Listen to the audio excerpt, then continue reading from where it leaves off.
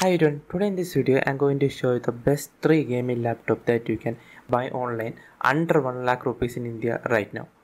I will provide all links in description, so let's get started. The first one on our list is Asus TUF gaming laptop. It comes with AMD Ryzen 9 5900 processor along with RTX 3060 which has a 6GB dedicated RAM. Right now in this price segment this is the best combo you can get. I didn't find any other model that support this kind of a specification with stock availability. Apart from that, it has 16 GB RAM which is upgradable up to 64 GB. It has a free M2 slot which means you can add another 1 TB SSD there and also you can replace a 512 GB with another 1 TB. Coming to the display, this model offers a 1080p display with 144 Hz refresh rate which is pretty good if you are looking to get the best specs at the price you are going to pay i think this is the best choice you can have right now.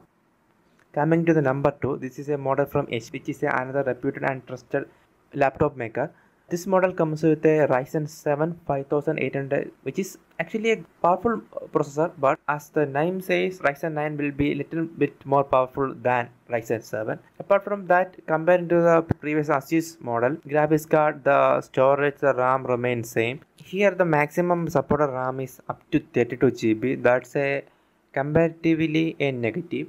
Apart from that all other features remain more or less same and this laptop will cost almost 1 lakh rupees. It's probably going to be a choice for you between two brand.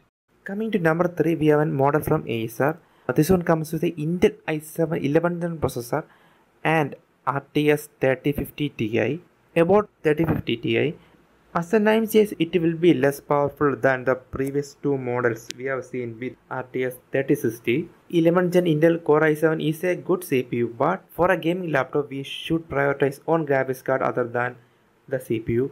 So unless if you are a hardcore Intel fan, I wouldn't recommend this model. Anyway, talking about other specification, unlike the previous model, this one comes with a 1 TB hard disk even if the storage space is more i wouldn't recommend you to install games on a hard disk.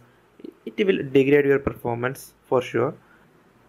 I will put all links in the description box below and if you have any doubts feel free to ask me in comments. I will try to reply you all.